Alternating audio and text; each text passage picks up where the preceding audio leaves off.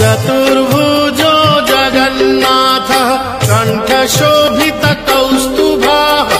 पद्मनाभो देवगर्भश्चन्द्रसूर्यविलोकनाः जगन्नाथो लोकनाथो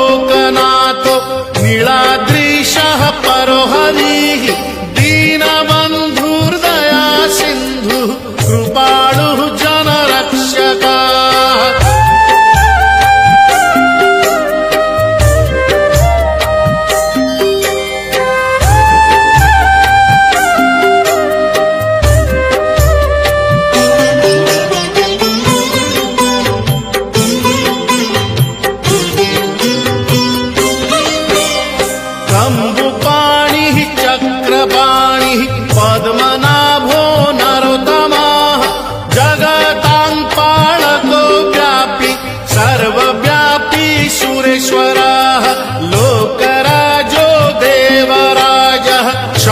भूपश्च भूपतिः नीलाद्रिपातिनाथश्च